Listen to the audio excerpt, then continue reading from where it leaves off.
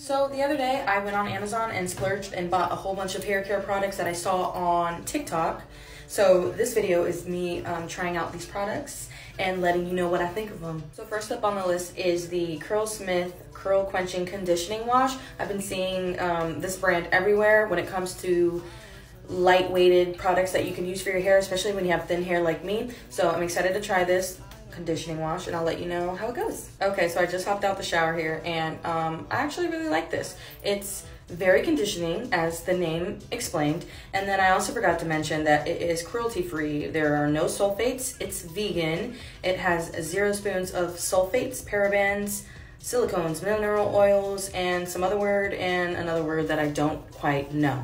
But um, I actually really like this. It smells really good and it made my hair feel real soft afterwards. So I would recommend that. So my next purchase is something that all the girls got. We all have a water bottle, but this one's pretty cool because it's like the one that doesn't work the one that keeps going for a long time. I'm so excited to have this, but you know, it just wets my hair, so I don't need to show you. It's all like weird because it was in a towel. I gotta fix it, be right back. Okay, so the next part was me explaining this comb here and how it took me forever to find it because I didn't know the name of it, but I accidentally deleted it on accident. So, um, anyway, I really like this comb. It detangled my hair uh, very nicely and quickly. I feel like the other brushes I used took such a long time and it felt like it pulled way more hair out. There's still hair in it. I still have fallout all the time.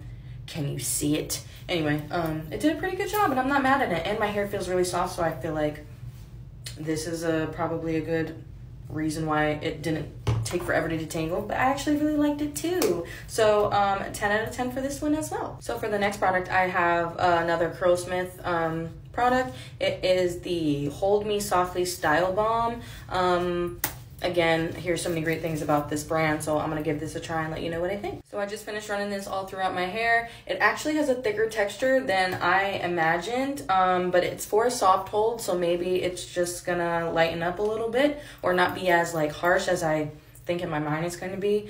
But it's a styling cream, define bounce, and it's a soft hold with elasticity. I hope I said that right. I don't know why my screen keeps going black. It's pissing me off.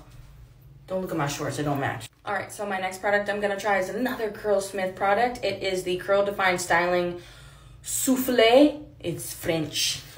um, but I'm running out of time, so come to part two to see how I like So I'm going to try the Curl Defining Style Souffle.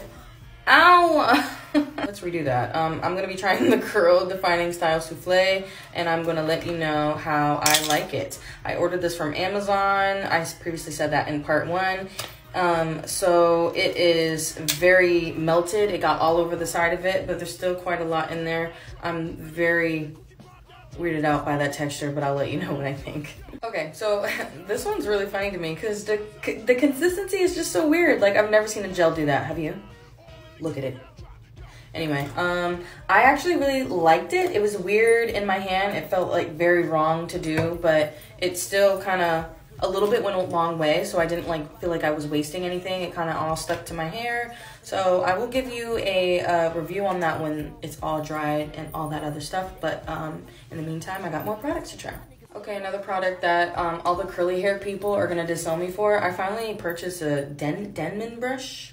Um, and I've been seeing on TikTok, I've been following all the curly girls, and you're supposed to like, oh my god, that hurts. Anyway, I'm gonna do it off camera, but you're supposed to like brush your hair up so your hair is curly at the roots too. I have a tendency to brush down and then the curls kind of like start down here. So I'm gonna do that real quick and I'll come back and let you know how I like it. I can tell you right now, I hit my head just now when I did that and it kind of hurt and I'm kind of upset about it, but I'll be more gentle this time. So I finished using this. I don't like this, we'll never use it again. It ripped all my hair out and feels like I'm brushing my hair with a fork. Um, but anyway, I went back with this and detangled as much as I could. Tried to like have it more raised at the top so it's just like curly at the roots too. You know what i mean. You know what i mean.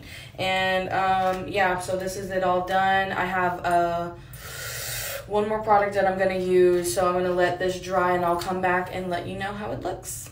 Okay it's been about like two-ish hours and my hair is completely dry. I'm okay with it. It's it kind of looks the same as every other product that i use i don't know if i'm doing something wrong but um yeah, I'm not mad at it. It looks okay. For my last product today, I have the Verb Ghost Oil. I saw somebody using this and it's just to refresh the curls. it was a little bit crunchy from the gel, so I kind of just like ran my fingers through it a little bit and softened it up a little bit. And now it just looks a little frizzy, so I'm going to use this to kind of soften it up again. Okay, if I'm being completely honest, that really helped it out a lot. It doesn't look as frizzy anymore. I'm completely in love with how my hair turned out today. I'm not mad at it, guys. Ooh, bitch. Oh, I like it a lot. I think the Amazon haul was a success.